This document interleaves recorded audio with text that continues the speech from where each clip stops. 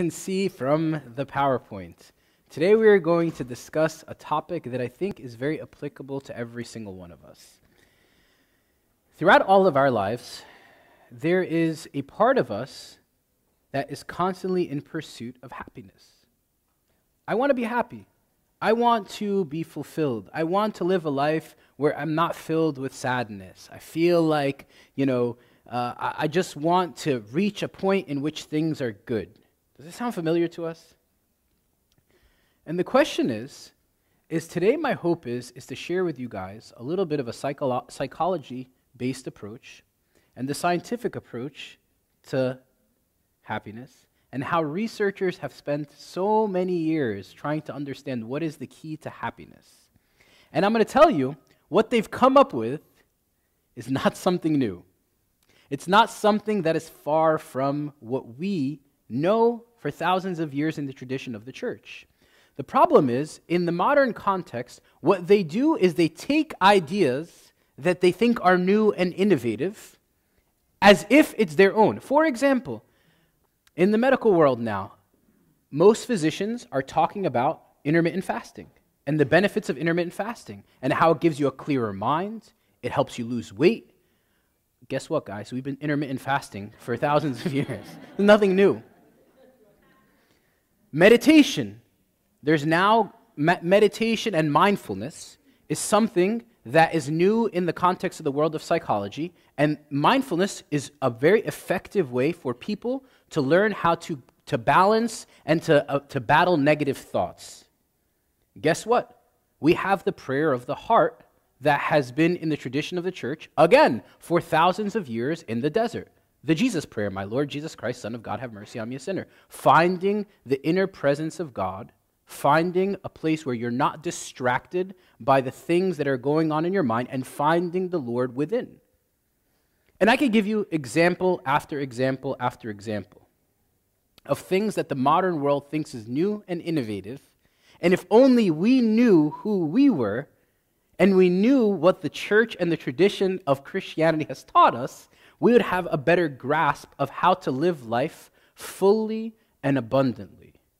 Christ said, I have come that I may give them life and they may live it more abundantly. So I guess my question to you is what is happiness? Is there like a metric for it? Is it a destination? And how do I find it? How do you define happiness? Let me give you, let's do some class participation. How do you define happiness? What do you guys think? Sorry? Satisfaction, okay. What else? Sorry? Chocolate. Chocolate is happiness. I, I, I totally agree. I totally agree. Actually, chocolate ice cream with brownies, double chocolate. That's, that's real happiness.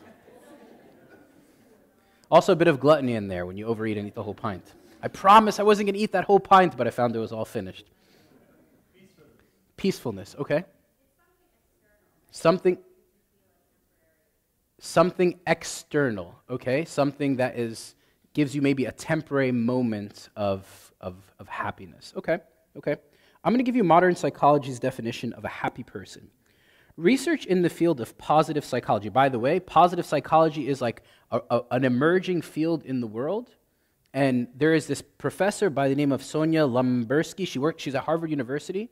And she wrote a book called Happiness. It's a fascinating book. I read, I, I, I, really enjoyed reading it because it goes into all this data and details on what makes people happy. So it's defined. Research in the field of positive psychology and happiness often define a happy person as someone who experiences two components in life. First, it's frequent positive emotions such as joy, interest, and pride, and infrequent, though not absent, negative emotions such as sadness, anxiety, anger, and second, having a sense of satisfaction in your life. So they define it, which it, it sort of seems like it makes sense, right? Like there is positive emotion, right, which are joy, interest, pride. And then there are these negative emotions, which are sadness, anxiety, and anger. And then you've become happy through being satisfied in the midst of both those things. So, whether it's positive or negative, I learn to be satisfied regardless of where I am. The question is what do we find are things that make us happy? Is it a relationship? Is it more flexibility at work? Is it a new job that provides you more for your family? Is it an extra bedroom? A two, two, two bedroom house. My people are, my family's breathing all over me. I need space. If I get away from my family, I'll have a little bit more space and I'll be happier. Is it a more attentive spouse?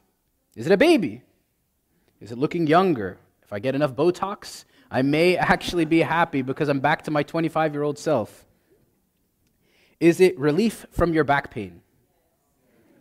Everybody, everybody, everybody said that. I was a physical therapist. I trust you. You fix people, and they're still unhappy. They still find themselves complaining about a new thing. Losing weight. Your child excelling at school. If your kid gets to Harvard, you are the happiest person alive, right? I, will tell you a story about a kid I know that on her graduation day, she graduated from law school, and she thought her, she was going to finally make her parents proud. And you know what happened on the day of their graduation? You know what her parents said to her? When are you going to get your MBA? Knowing what you really want to do with your life, more supportive, loving parents, cure from a chronic illness or disability, more money or more time. So let me actually show you guys quickly this really cool graph. These are the factors that affect happiness. 50% of happiness is there's a genetic set point. So some people are more predisposed to negative emotions and chemical imbalances as a result of depression, anxiety, a variety of different factors. So some people naturally they have to fight that much harder to be happy, but that's only 50% of the equation. It can be oh, I'm depressed, so I'm going to be unhappy. 50% of the equation. 40% of the equation is intentional activities. And 10% is just circumstances. So, all those things that we said before are just 10% of what makes a person happy. Now, seriously, only 10%? Seriously, is that? I, I, thought that if I got a new car, if I finally got that new house, if I finally got that increase in paycheck, if I finally got the things that I thought were going to make, make, make me happy, I would be good. You guys ever hear of the concept of the hedonic treadmill? The hedonic treadmill basically is every time you have a success or you reach a goal, you move the goalpost further. So I got that new car, I want a nicer car. I got it, I'm satisfied it for a short period of time, I'm looking for the next thing. I get the new house, I'm looking for the bigger car. I get the new relationship, eh, he's like kind of cool. I'm looking for the next relationship because it's going to make me better. Am I right or am I wrong? Am I right or am I wrong? How many of you really longed for something so bad in your life, you finally got it and you're like, ah, oh, I'm going to be good now. And before you know it, you're what? Vanity of vanities, right? King Solomon said it best. He said, I looked at my whole life and I saw all the riches and I saw all the things that I got, and it was vanity of vanities, grasping for the wind. Perhaps this is the most counterintuitive thing that every single one of us seem to kind of subconsciously know, but we don't have the data and the science to back it up. But it only accounts for 10% of our happiness. So whether you're rich or you're poor, healthy or unhealthy, beautiful or just a plain ordinary Jane, married or divorced, etc., it doesn't really matter. Those things are not what make you happy or unhappy. A great deal of science backs up this conclusion. For example, a well known study demonstrated that the richest Americans that earn more than $10 million only had sig- slightly significant levels of happiness than the janitors and the people that they employed. Only slightly, slightly a bit more happiness. Now you say, how is that possible? If any of you have traveled overseas to places like Egypt, or to places like Africa, or to places where people are living in extreme poverty. You know what I mean when you see people that have nothing and still are able to find happiness in everything that they do. Because it's not the material possessions and not the things that we have that make us more fulfilled and content. So, what about the 40%? Thus, the keys to happiness lies not in changing our genetic makeup, not in changing the circumstances, getting a new car, being more attractive, getting a job promotion. It's in daily, intentional activities. I'm going to list those intentional activities that science has shown. I'm going to say, I'm going to have you look at them, and I put next to them like what those practices are. But I want to take it deeper into what actually, how the church has already taught us for, for so long to us. So the happiest participants in studies, they found that they devote themselves, they devote a great amount of time to their family and their friends, nurturing and, nurturing and enjoying those relationships. So they invest in community. They are comfortable express, expressing gratitude for all that they have. We say the prayer of thanksgiving all the time. If only we were thankful, right? Being thankful. They're often the first to help. They have helping hands to coworkers and passersby, serving others. They practice optimism when imagining their futures, trusting and having a hope in God. They savor life's pleasures and try to live present, live in the present moment. They are fun people and they live in the, temp- in, in the moment and not in the future. They make physical exercise a weekly and daily habit. Do you not know that your body is a temple of the Holy Spirit? By the way, for us not taking care of our physical bodies and letting our physical bodies fall apart, this is not honoring what God has given us. It's not honoring it. So when you see when you see that like it's important for priests to exercise, by the way, guys. Like, if you see Abuna in the gym or something like that, you should be happy because he's taking care of his temple. It's not that, oh my God, haram, Abuna's exercising. Oh my God. Like, no, you should say, good for Abuna. He's working out. Like, he's taking care of himself. Unfortunately, most Abunas have little gyms in their houses because they're scared of what you people are going to say about them. I'm a rookie, so you guys, uh, I've set, I've, I'm going to set new precedents. No, I'm just kidding. I learned from those who came before me. I'm not getting in trouble. Sorry. They are deeply committed to lifelong goals and ambition, fighting injustice, or teaching their children deeply held values vision and purpose, family life. Last but not least, the happiest people do have their share of stresses and crises. The rest of the slide says, but they find a way to choose joy in the midst of those circumstances. Let's go a little bit deeper into the science. There was a study of 724 men over 80 years. This is a Harvard study. 80 years. They followed these people from their childhood all the way through as they got older and wanted to see what contributed to their levels of, of happiness. Some of those kids went to like really good schools. Some of them went to war at World War II. Some of them were from the richest families, and some of them were from the poorest families. So the circumstances, the 10% thing, they took into account. And they found after the 80 years that they studied these people, that people who are socially connected to family and friends and to community are happier, they're physically healthy, and they live longer than people who are less connected. Ladies and gentlemen, welcome to the importance of the church. Community, being one body looking out for the interests of others, caring for each others, not expecting that the only person that checks up on people within the church is Abuna, but actually looking out for each other, actually calling people, actually investing in relationships, actually inviting people to dinner and making sure that they feel like they belong. 80 years they studied these men, and they found that the people that often were the richest were often actually the people that were the most unhappy. And I've witnessed this in my own personal life. I've treated in my practice the richest of the rich people, the most powerful of the powerful people in Washington, D.C. They reach the heights of where a person can reach. And you sit them and you have them lay down on the table and you listen to their stories. And all of them feel a sense of emptiness because they've put so much of their value in only the 10%. So, the three keys to happiness, based on all the things that we just shared, is gratitude, serving others, deep relationships, and community. Again, ladies and gentlemen, this is not rocket science. I didn't present to you a new innovative technique to find happiness and joy in life. This is what the church tells you to do. This is what Scripture has revealed to us from the beginning of time to be grateful, to have a sense of thanksgiving. And we'll go through this in detail in a second. But there are study after study. I can read them to, for you. Slatcher and Pennebaker, 2006. Babak et al., 2017. Prayer, uh, Dweck, 2007. Lombarski, 2017. Study after study after study. And I'm all about research, like having data to back up what you're saying. Gratitude, serving others, and deep relationships. You want to find fulfillment in life.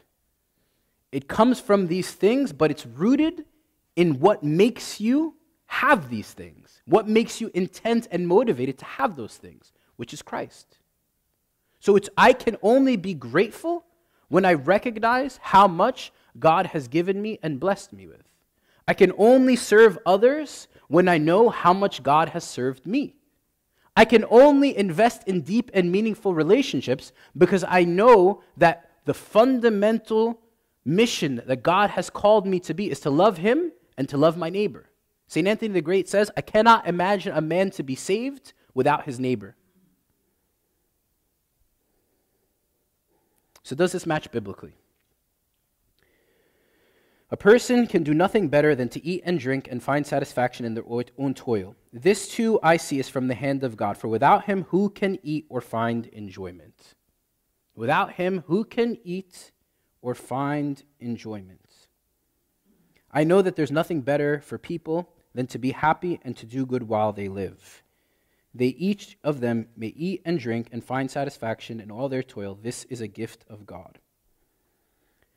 First John says, and we know that we pass from death to life because we love the brethren. There was a man all alone, and he had neither son nor brother. This is all from the book of Ecclesiastes, by the way, which I think is a fantastic book if you really want to understand the deeper searchings of the soul. There was a man all alone. He had neither son nor brother. There was no end to his toil, yet, all, yet his eyes were not content with his wealth. For whom am I toiling? He asked, and why am I depriving myself of enjoyment? This too is meaningless, a miserable business. Two are better than one.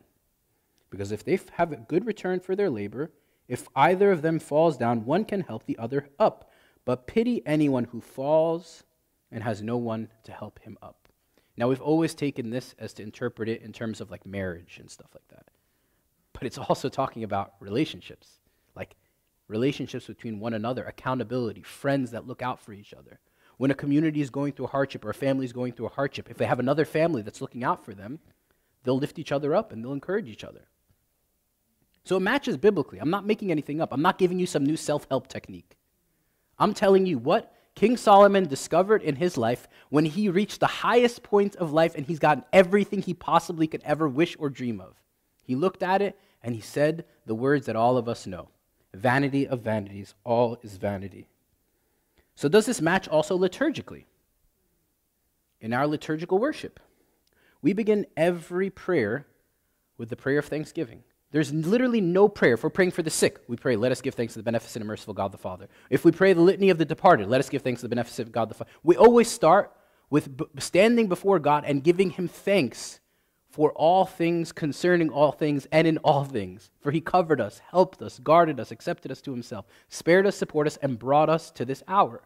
This is not just words. We, we, we, we internally, when we are saying these prayers, we should actually pause and say, Lord, thank you for all the things that I have. I'm so blessed beyond measure. I got everything a person could ever want, want or dream or wish for. But somehow my perspective is flawed. Somehow I don't see all the things that you've blessed me with. We pray as a community of believers, even when we are praying privately in our rooms. Even when you are praying in your room privately, you are not alone. We believe that we're surrounded by the multitudes of saints who pray with us. We believe that our prayers that we pray for one another carry us. So it's not just an individualized, like, that's why we say, that's why when we pray, we always pray our Father, because there's a collective nature to it. It's not just my Father who is in heaven, it's our Father. He's our Father. He, I am nothing without you, and you are nothing without me. But somehow in the West, we've gotten this idea of individualism me, me, me, me, me. It's all about me. Forget the next person next to me. Liturgy is the work of the people. That's what liturgia, the Greek word, means. It means the work of the people. So we are, when we go and we receive the Eucharist, we are to go out in peace and to work. We say, go in peace. What does go in peace mean? I've said this before. You probably heard me say it before. It's not peace out. It's not like, see you guys later. It's not like, that's not what go in peace is. Go in peace is go, what, from what you've received, the peace, that's why we say, irani pasi, irani pasi, have peace, have peace. The peace that you've received from Christ, go and bring that peace to every single person that you encounter. Be an ambassador of peace. Be a person that when people encounter you, they walk away differently. We are to go into the serve, into the world and serve the world by bringing that same peace that we receive from Christ himself. The problem is the problem is the one who's filled can fill. The one who's empty has nothing to give. He gives of himself, and when he gives of himself, more than, more than, it's more common that that person actually harms others. I'm telling you, my brothers and sisters, it is of literally life and death that we invest in our relationships with God. I was at the college retreat yesterday, and I took confessions for like eight hours straight. These kids are going through intense, intense war. We're not talking about like, this is not a joke anymore, ladies and gentlemen. This is not a joke, this is a war. If we aren't on our knees praying for our kids and our family and our community, begging God for grace, if we aren't living Bibles to our families and our kids, where is the future of the world? I said this to the grads on Thursday night that the local church is the hope of the world. Our, ch- we, our church is the hope of the world. If all of us rise up as a collective body, seeking power from on high and going out into the world and transforming the world by the presence of Christ within us, we will see a different world. We will see it for sure. The problem is each of us say, ah, it's not a big deal if I pray. It's not a big deal if I come to church on Sunday. Oh, what? nobody even notices. No, no, because we are individually members of one another. If one of us stumble, if one of us fall, if one of us struggle, we're all struggling. We've lost that mystery. So, gratitude. How can we practice more gratitude in a world that makes us feel we always want and need more? There is a, a, psychological approach that a lot of therapists recommend people to do is every morning, when you wake up, get a little notepad and write down five gratitudes, five things that you're, ha- you're grateful for. And over time, as you start to get in the practice of 21 days, they say, 21 days of practicing gratitude, 21 days of actually praying and thanking God for five things every single day, you'll start to notice that your perspective will change. Instead of noticing all the negative things that are going on around, you'll start to say, God is good. I feel good. Life is good. Like I have, I have so many blessings in my life. But you have to be intentional about it. It doesn't just happen. We have to renew our minds. St. Paul says it do not be conformed by this world, but be transformed by the renewing of your mind. He also says, hold your thoughts captive. Literally, hold them captive. Because our thoughts have a way of hindering us from being able to live a fulfilling life. The church fathers talk about thoughts all the time. And actually, as when Paul starts a series on the sayings of the desert fathers, I think we're going to do one session exclusively on thoughts and the power of thoughts. So I would encourage you guys, if you really want to take this serious, if you want to live a more fulfilled, happy life, be intentional. Five things, right on your phone, maybe a notepad. Five, five things every single day that you're grateful for and thank God for them. It's not like, oh, I'm grateful for my like my wife and my kids and like I'm good, life is good. No, thank you God for my wife. Thank you God for my kids. Thank you God for the house that I have. Thank you God for the food that it's given me. Thank you God for my health. Thank you God for all these things. Thank you God for my sickness. Imagine how how powerful of a prayer that is. Thank you God for the things that you give and the things that you take away. Thank you God for the good that I you've given me and also the things that I perceive as bad, knowing that you are a good God and nothing that is bad is actually bad, because all things work together for good to those who love God. Serving others. How can you begin to incorporate a more selfless service to others more regularly. A series of studies showed that people experience longer bursts of happiness when they receive an unexpected random act of kindness and remain uncertain about who did it and why. I'm going to tell you guys a story. My 25th birthday, a long time ago, my 25th birthday, I decided that I was going to take a group of my friends and we were going to do 25 random acts of kindness all throughout New York City. We were just going to do random nice things for people. It was the best birthday that I ever had in my life. Because we were just like randomly doing things all throughout New York City. I'll give you an example. We set up a hug station where people in the middle of New York City, they would walk by, hey, do you need a hug? And we just give people hugs. And you can't imagine how giving somebody a hug in a time where nobody wants to touch anyone. Maybe now during COVID times, nobody wants to give anyone a hug. But like during that time, you give somebody a hug and they're like, wow. And it's like we've lost the, the and I'm not telling you go out and randomly hug people. You'll, you'll like, I'm telling you that. We had a sign that says, if you want a free hug, come give us a hug. But I'm, I'm not even talking about random acts of kindness. Like, we don't need to do random acts of kindness. We can do intentional acts of kindness in the church. Like, we have 10,000 people in this church. Literally. Like, when I look at the lists of people that are in this church, I look at them like, how is it possible that four, four people can serve this whole community? Impossible. Impossible. Even if we never spent a minute of time with our families, it's impossible to serve all of you. So that's why we have to lean on each other and all of us serve together. It's not for just four men in black. Forgive me. I'm the new guy. I can say it. It's, you know, forgive me. I, I, I, can't do it, and I promise you that I'm not going to do it. And you will criticize me all over your social media accounts and say Abuna does nothing, but I promise you I'm doing what God is calling me to do. I promise you. I promise you I'm praying intently every single day for you all. I promise you that after the retreat on my whole car ride home, I was crying for all the youth that I sat with yesterday. Because if we lean on each other, if we support each other, if we actually start to build one another up, when we start to see that somebody's going through a hard time and I was part of the solution to their problem, I was part of the healing of their broken relationships. I was part of the healing of their families. I was part of the healing of the struggles. I visited them in the hospital. I looked out for them. We have a social support ministry in this church, but we don't have enough people. We don't.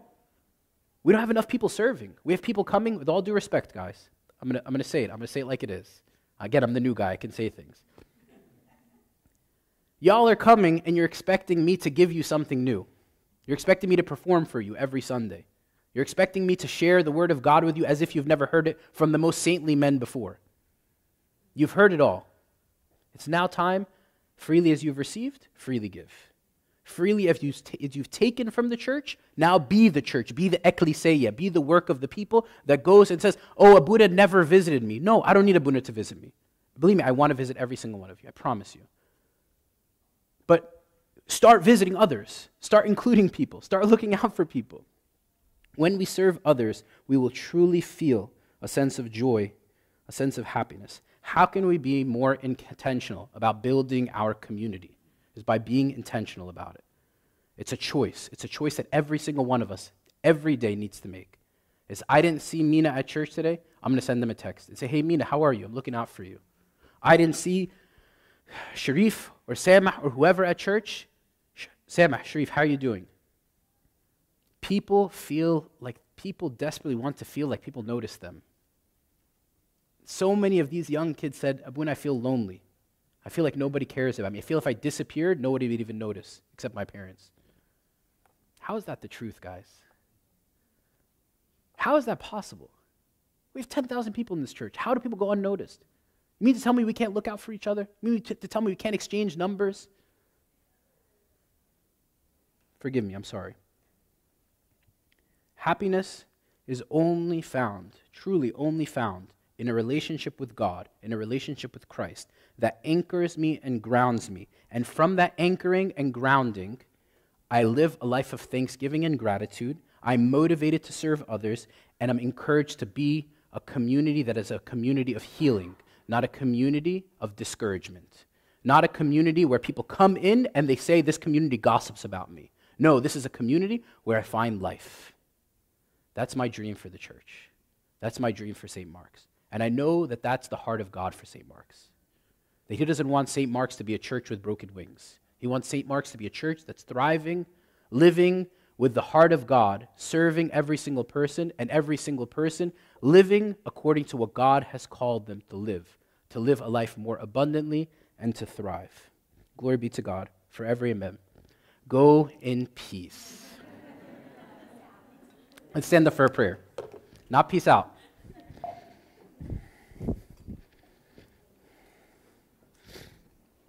In the name of the Father, and the Son, and the Holy Spirit, one God, amen.